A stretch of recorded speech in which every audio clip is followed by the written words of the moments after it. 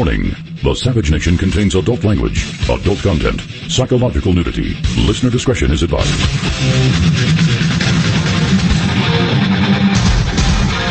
And now, America's most exciting radio talk show, The Savage Nation, home of borders, language, culture. And here he is, winner of the National Radio Hall of Fame Award, Michael Savage. confused. We're confused by Trump's plans, our plans still being stalled by suicidal leftist fanatics who, if not stopped, will get many of us killed. Have a nice day. I can't say any more. Now, the rest, of course, is commentary upon that statement I just made. I'll repeat it in case you missed it. We are all confused by Trump's plans and our plans still being stalled by suicidal leftist fanatics who, if not stopped, will get many of us killed. Whatever else I'm going to say today and the rest of the week is commentary upon that one statement. The American cultural revolution that we are living through is what I'm going to talk about a little bit, leading right up to the Super Bowl ads, which were disgustingly political. I ask you again, what happened to our beloved America? We once put a man on the moon. Now left-wing fanatical protesters give us their full moon in broad daylight in San Francisco and other cities. We in America, with no help from Al Gore, invented the information superhighway. Internet entrepreneurs created great companies like eBay and Amazon, accelerating global commerce. How did we decline so rapidly that we're doing nothing but watching anarchists in the streets being supported by congresswomen who say it was beautiful? The only thing certain to me is that America's wounds are internal. Radical Islamists are determined to kill us and wipe great Satan America and little Satan Israel off the map.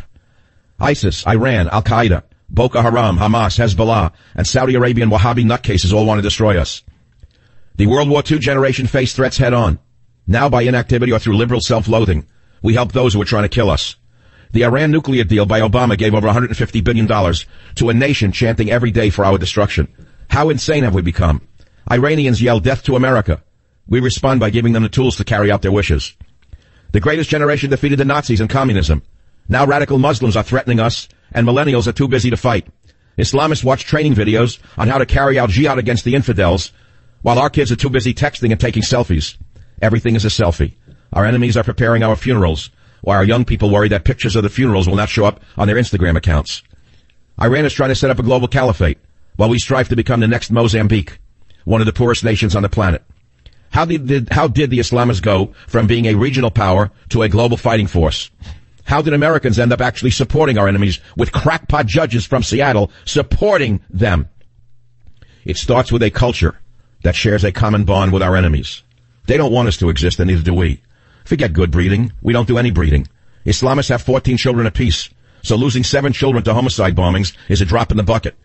We went from having 2.3 children to an abortion culture and an overpriced Manhattan loft.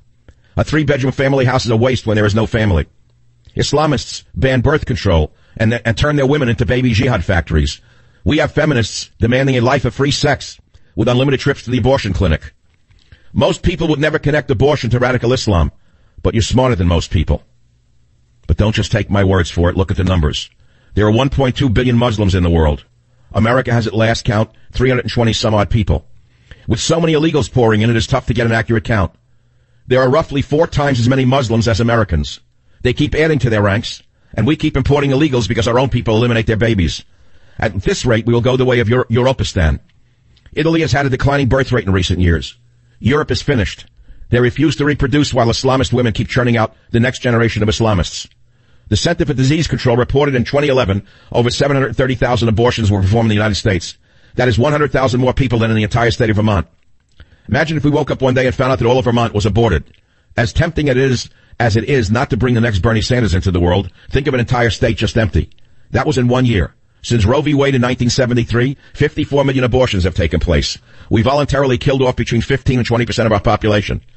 And by the way, the next time you hear a leftist say that illegals do the jobs Americans refuse to do, just remember how many Americans we killed off. Had those babies been born, there would be no labor shortage today. Their children, and in rare cases grandchildren, could have joined the United States military. Instead, Islamists are breeding and Americans are bleeding. I'll say it again in case you missed it. It's got nice iambic pentameter. Wolf Blitzer, pay attention, you psychotic moron, you. Jake Tapper, you stupid drug addict moron. You're a drug addict. You're addicted to your liberalism. You sick man, you. Idiots. Morons on CNN. Islamists are breeding and Americans are bleeding. It's easy for Islamists to chant death to America. We eliminated one-fifth of their obstacles and made their job 20% easier, Jake. At least some Americans are still having children. Unfortunately, many of those children spend their formative years being taught how to surrender. Thank you, Berkeley.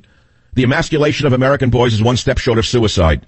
Muslims are living in patriarchal societies, while American boys are being emasculated by feminism.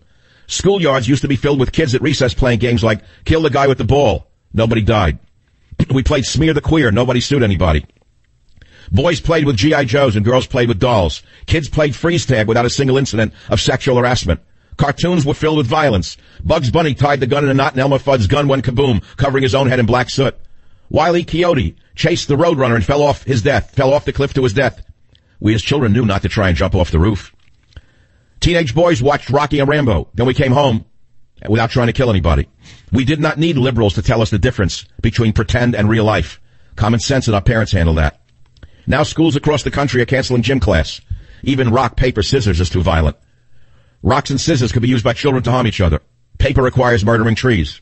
It's no wonder Islamists produce strapping young men, while America produces sensitive crybabies. Muslim children are taught to hate in madrasas. They're taught how to kill the infidels and the blasphemers. American boys are suspended from school for arranging the school lunch vegetables in the shape of a gun. Perhaps, perhaps it's good they get suspended. Michelle Obama used to starve our children anyway. Pizza, burgers, and fries are replaced with gluten-free, calorie-free, free, flavor-free garbage that the kids throw away.